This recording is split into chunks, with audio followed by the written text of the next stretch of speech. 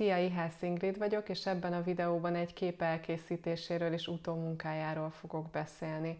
A helyszín a Gánti Bauxit bánya volt, ahol korábban én egyébként már fotóztam, de terveztem, hogy majd a kislányommal is visszamegyek oda.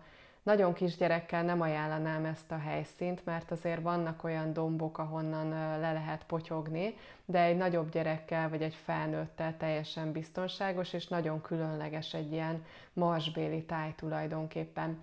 Légy szó, hogyha ti jártatok valami érdekes helyen, akkor írjátok meg kommentben, mert mindig keressük az új helyszíneket, ahol még nem voltunk, és tudunk majd fotózni, úgyhogy nagyon köszi, hogyha, hogyha írtok ilyeneket kommentben. Visszatérve erre a képre, eléggé felhős napunk volt. Egy felhős napon nem kell annyira figyelni a fényekre, mint olyankor, hogyha látszik maga a nap is az égen, de ilyenkor én azt javaslom, hogy próbáljátok meg ezzel együtt is a modellt inkább a fény felé fordítani. Hogyha bizonytalanok vagytok benne, hogy merről is jön a fény, akkor feltarthatjátok például a kezeteket, és figyelhetitek a tenyereteken, illetve a kézfejeteken azt, hogy merről is érkezik a fény, és arra fordítsátok a modellt. Hogyha a nap látszik az égen, akkor viszont véletlenül se süssön szemből a modellnek. Olyankor jobb, hogyha ellenfényt használtok, vagy valamivel szűritek, formáljátok azt a fényt, mert a direkt napfény nem szép az arcon, de egy ilyen felhős időben, mint amikor ez a kép készült, nyugodtan használjátok szemből a napot, és az lesz igazán szép a képen. Hogyha ilyen látványos helyszínre mentek, akkor én javaslom, hogy tegyetek föl egy nagyobb látószögű objektívet. Én mindvégig 35 mm-essel dolgoztam, ezzel ugye a tájat is meg tudjátok mutatni. Nagyon szépek a telés portrék, persze lehet olyanokat is csinálni, közelieket a modellről, nem torzítanak, szépen mossák a hátteret, de telével igazából nem jönnek ki egy ilyen helyszínnek a jellegzetességei, ahhoz kell a nagyobb látószög. Én egyébként nem szeretek 35-ösnél nagyobb látószöget használni, nincs is most ilyen objektívem, mert már eléggé torzítanak, és hogyha mondjuk ember is van a képen, akkor azt eléggé középre kell komponálni, mert a széleken már nagyon-nagyon eltorzulna. Ami a beállításokat illeti, mivel elég nagy volt a fény, ezért az izót alacsonyan tartottam, tehát ilyen 100-200 körül. Az áridőm 500 volt, vagy annál gyorsabb, amit ugye a fényviszony követett. A rekeszemet pedig kinyitottam nagyra, ami ilyen látószögnél nem mossa nagy mértékben a hátteret, pont annyira, amennyire szerettem volna. Hogyha szeretnétek a helyszínt is ugyanolyan élesre fotózni, mint a modellt, akkor nyilván szűkíteni kell a rekeszt. Én maradtam ennél az f1.8, f2-nél nagyjából. Figyeltem az expozícióra is, mert nem szerettem volna kiégetni az eget semmiképpen. Ilyen esetben én inkább egy picit alul exponálok, hogy megmaradjanak a részletek az égben is. Nyilván, hogyha olyan az adott fényviszony, akkor minél tökéletesebb expóra érdemes törekedni már a gépben is, viszont hogyha fennáll a veszélye annak, hogy valahol tényleg kiég a kép vagy fehér lesz, akkor lehet egy picit alul exponálni. Nem javaslom, hogy, hogy ez nagyon nagy mértékű legyen, de egy picit nyugodtan lehet. Fogok még nektek mutatni a színekkel kapcsolatban is néhány dolgot, illetve át fogunk menni a Lightroom-ba, és megmutatom, hogy hogyan szerkeztem ezt a képet lépésről lépésre. Ez a nyers képem így jött ki a kamerából. Ez látszik, hogy egy viszonylag jól exponált kép, bár egy picit túl világos az ég, de egyébként az alanyunk az jól van exponálva. Ami azt illeti nekem a színe egy picit sárgás, ennek pedig az az oka, hogy a profilja a kamerámnak a portré profilja, úgyhogy én ezt most meg fogom változtatni a kamerának a semleges profiljára, ami látszik, hogy már is elég sokat változtatott a képen, sokkal kevésbé sárga. Egy picit följebb fogom húzni az expót, mert én így már sötétnek találom. A másik, amit fogok csinálni, ez a kontrasztnak a beállítása a görbék segítségével. Itt egész egyszerűen ezt a medium kontraszt lehetőséget választom ki, ami látszik, hogy eléggé a sötéteket behúztam. Úgyhogy fel fogom emelni az árnyékokat, illetve le fogom húzni picit a csúcsfényeket. A fehéreket ki fogom húzni a, a histogramnak a végéig. Itt látjátok, ahogy a histogram vándorol. És egy picit behúzom a feketéket, megint csak azért, hogy, hogy kontrasztosabb legyen a kép. Nekem így egyébként ez tetszik is. Az ég az, amivel még úgy kellene kezdenem valamit, ezt a Graduated Filter segítségével fogom megtenni. Lehúzom, nyomva tartom a shiftet azért, hogy párhuzamos legyen, és elkezdem lehúzni a highlightokat, a csúcsfényeket, és akkor elkezd visszajönni az égnek a, a textúrája. Picit lehúzom az expozíciót is ennek érdekében, és mivel kicsit szürke az ég, ezért a színhőmérsékletet elkezdem húzni a kék felé, és már is egy nagyon szép kék eget kaptam vissza. Egyébként érdemes lehet itt beállítanom egy range maszkot, azaz meghatározni, hogy hol dolgozzon ez a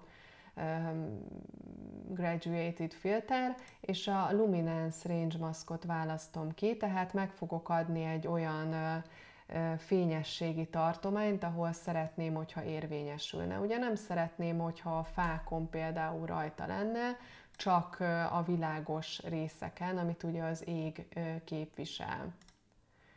Kikapcsolom, bekapcsolom, látszik, hogy, hogy mekkora nagy a változás.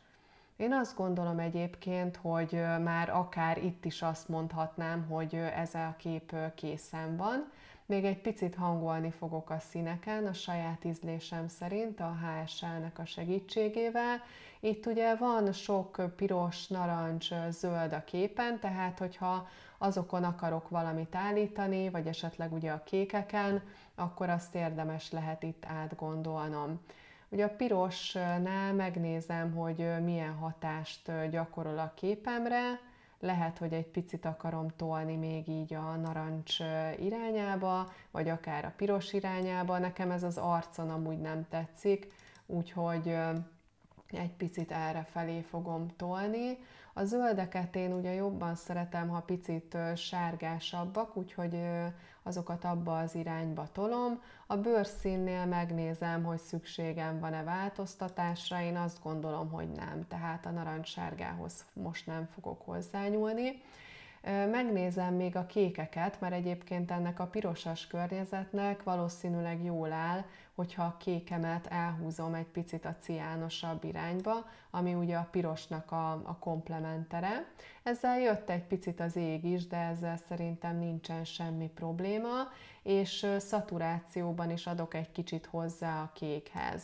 Egy ilyen kékes, narancsos összhatásom lett ezáltal, még esetleg a bőrszínen egy picit világosíthatok azzal, hogy felemelem a narancssárgának a luminánszét. Hogyha megnézem, hogy ez mit csinált a képemmel, akkor látszik, hogy nem drámai a változás, viszont egy picit változtak a színek. Én szeretem a split toningot is használni, elsősorban meleg színeket szeretek hozzáadni, a csúcsfényekbe is, és most jelen pillanatban az árnyékokban is, viszont ez ugye nagyon sok, tehát én ebből bőven vissza fogok venni, és csak egy nagyon pici színezést adok hozzá a képhez. Ennyit. Ez egy elég éles kép, alacsony izó mellett, tehát itt olyan nagyon nagy élesítésre és zajszűrésre nincsen igazából szükség. Adhatok hozzá egy pici élességet, pici zajszűrést, nem sokat követel ez az egész kép. A kromatikus aberráció szűrést én mindig bekapcsolom, bár itt egyébként nem különösebben jelentkezik nem akarok hozzáadni vinyettát, sem pedig szemcsézettséget. Még esetleg a calibration megnézem, hogy tetszik-e valamilyen irányba változtatva a calibration. Esetleg itt még a kék csatornába teszek egy kis szaturációt. Itt is látszik, hogy nem drámai, minimális változtatásokat tettem, de nekem így sokkal jobban tetszik a kép. Azt is mondhatom egyébként, hogy ez itt, ez itt készen van. Ha akarok még rajta cizellálni egy kicsit, akkor fogok egy ecsetet, és itt fel fogok festeni egy ilyen vinyetta-szerű dolgot. Ezt kikapcsolom, ezt az automaszket, bekapcsolom azt, hogy mutassa a maszkot az ó segítségével, és megnézem, hogy hova festettem fel. Most pedig eltüntetem szintén az ó segítségével, és egy picit itt lehúzom a highlightokat, csúcsfényeket, egy picit az árnyékokat, akár az expóhoz is hozzányúlok, ami által segít nekem egy picit az alanyomat jobban kiemelni. Fogok még egy ecsetet, és itt az alanyomra is felfestek, hogy őt még jobban ki tudjam emelni. Egy icipicit itt emelni fogom ennek érdekében az expozíciót, hogy több fény legyen rajta, a fehéreket, hogy jobban kijöjjön majd a kontraszt, illetve hogy ugye itt a világos részek rajta fényesebbek legyenek. Picit behúzhatom még az árnyékokat is, azért, hogy megint csak a kontrasztján növeljek, mert ugye mindig a fényes, színes és kontrasztos területek vonzák a, az ember figyelmét. Úgyhogy így most még több figyelmet tudtam irányítani az alanyomra. Hogyha megnézzük, így elvonta egy kicsit ez a világos rész a figyelmet, viszont ahogy felfestettük alulra a sötétet, ide pedig a világosat, már is sokkal jobban ki tudtuk az alanyunkat emelni. Én azt gondolom, hogy ezen a képen igazából olyan nagyon sokat már nem kell dolgozni, nyugodtan azt mondhatjuk, hogy készen van. Az arcát, ha akarnánk, retusálhatnánk, én szerintem egy ilyen kisgyereknél erre nincs szükség. Nézzük meg, hogy milyen volt a kép előtte, és milyen lett a szerkesztés után. Én azt gondolom, hogy drámai változásokat nem hajtottunk végre, mégis egy, egy sokkal szebb és izgalmasabb képet kaptunk.